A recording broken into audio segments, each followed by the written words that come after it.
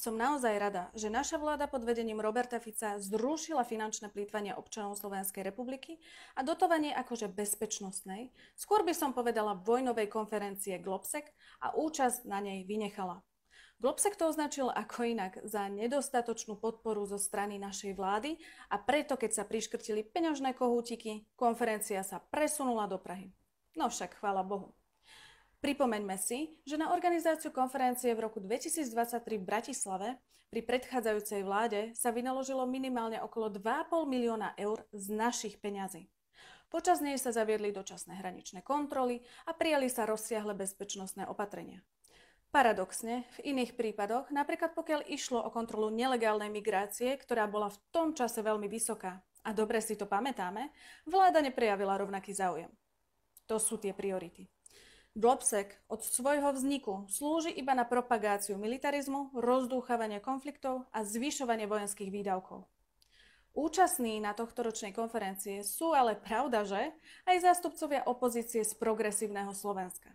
Myslím, že nikto z nás nie je prekvapený, že Michal Šimečka, ako ešte stále podpredseda Národnej rady, tam vystúpil skôr proti záujmom Slovenskej republiky a v prejave tvrdil, že sme pomaly izolovaný autoritársky štát a s poslancom Tomášom Valáškom si stihli urobiť vysmiatú fotečku a napísať status o tom, ako je smutné, že Globsek nie je na Slovensku.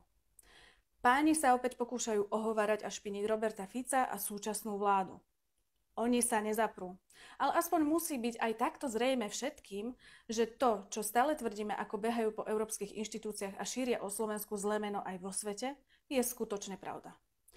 Túto udalosť si nenechal ujsť ani syn Georgia Soroša, Alexander podstate, keď sa tak zamyslím, progresívne Slovensko sa v Prahe zrejme aktuálne cíti ako doma a medzi svojimi. No ak by ste hľadali počas prebiehajúcej konferencie slova ako mier alebo mierové riešenia v tohtoročných vyjadreniach účastníkov, sklamali by ste sa.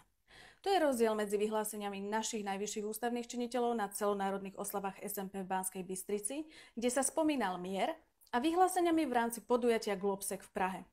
Tam sa skôr vyzýva na zbrojenie a vojnové štvanie.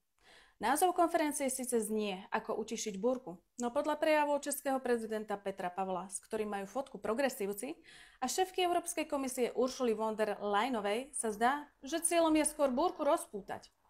Neustále zaznievali počas konferencie výzvy na zbrojenie Ukrajiny a porážanie Ruska.